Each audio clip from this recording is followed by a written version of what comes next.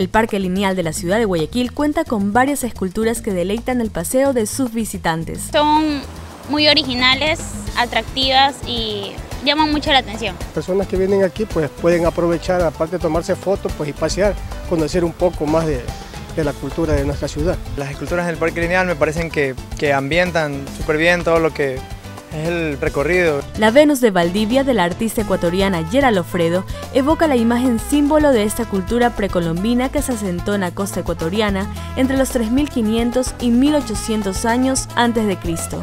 Resalta la belleza femenina con una fina cintura, caderas anchas y piernas contorneadas.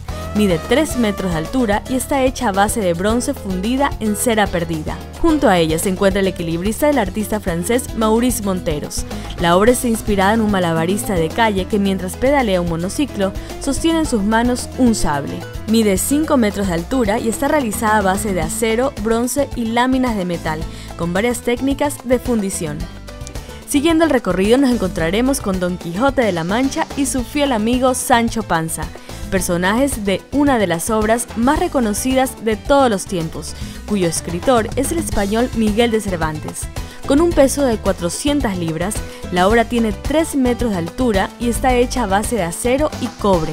Su autor es el escultor guayaquileño Manuel Velastegui, también conocido por ser el pionero de la escultura del reciclaje en el país. Finalmente, en este hermoso lugar podremos apreciar la obra denominada Amigas en mi jardín. Con esto, el artista ecuatoriano Jorge Paso Vargas quiso representar a la humanidad saliendo de un mismo árbol, en un concepto que refleja que la vida surge de la madre naturaleza. Mide casi 5 metros de alto y está elaborada a base de madera de eucalipto, con una antigüedad de 200 años. Otro monumento de gran belleza es el Fauno y la Vacante, realizado por el escultor ecuatoriano Luis Veloz en el año 1918.